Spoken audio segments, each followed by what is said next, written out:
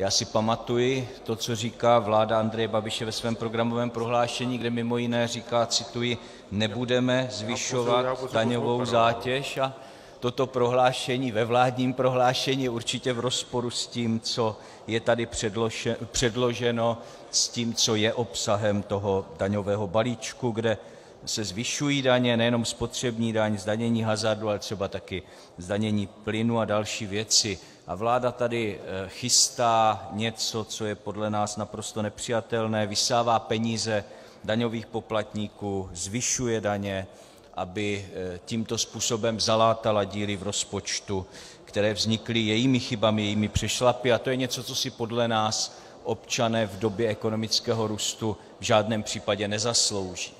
Ale co si naopak lidé zaslouží, to je jednodušší a přehlednější daňový systém, a já bych proto rád, pane předsedající, navrhl na dnešek jako první bod dnešního jednání sněmovní tisk 254, tedy návrh poslanců Zbyňka Stanjury, Petra Fialy, Jany Černochové a dalších na vydání zákona, kterým se mění zákon č. 586/1992 Sb., o daních z příjmu, neboli bod 88 schváleného programu 35. schůze.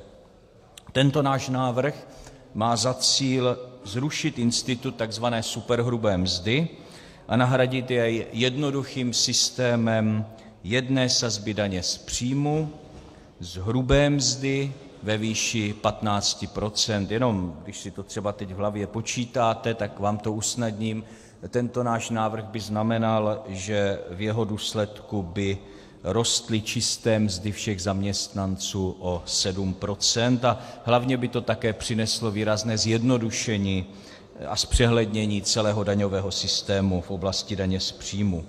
Dovolím si ještě jednu ilustraci na příkladu zaměstnance, který by pobíral hrubou měsíční mzdu 30 tisíc korun, tak po přijetí tohoto našeho návrhu zákona by na dani z příjmu ušetřil měsíčně 1 530 korun oproti současnému stavu, což ročně představuje úsporu 18 360 korun. To si myslím, že je určitě příjemná částka, je to něco mnohem užitečnějšího, kdyby toto Parlament přijal, než to, co tady chystáte vy ve svém daňovém balíčku. A já jenom připomenu, že tento návrh zákona, tedy sněmovní tisk 254, kterým se mění zákon o dani z příjmu, tento návrh zákona jsme předložili 6. srpna roku 2018. Ano, slyšíte dobře, 6. srpna roku 2018. Od té doby se nedostal na pořad jednání. A my tady pořád slyšíme něco o nějakých opozičních okénkách, nebo jak to nazýváte rétoricky, a co tady bude pro opozici se dělat, ale pravda je taková, že se vůbec nedostáváme k tomu, aby se projednaly, projednaly, já chápu, že třeba něco neschválíte, i když tomuto bych se divil, ale chápu, že něco neschválíte, ale tady se ani neprojednávají ty zákony, které opozice předkládá, ani nemáme možnost přinést argumenty. To, co tady slyšíme, jsou urážky o opoziční špíně a podobné věci, toho jsme si tady vyslechli dost, ale abychom tady mohli argumentovat a vy nám vyvraceli ty naše nápady a ukazovali svoje lepší, k tomu se tady nedostaneme a k tomu nás tady nechcete pustit.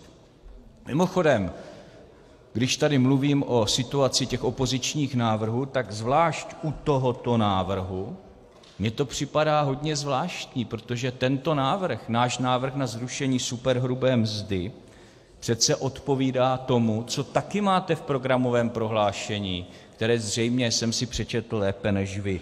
V programovém prohlášení vlády čtu: Zrušíme superhrubou mzdu u daně z příjmu fyzických osob.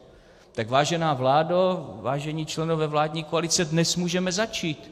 My vám pomůžeme naplnit tento bod programového prohlášení, protože ho považujeme za rozumný. Tam tímto směrem zrušení superhrubé mzdy u daně z příjmu, tímto směrem přesně jde náš návrh, který tu leží od srpna 2018 a který vy prostě nechcete zařadit ani na pořad jednání.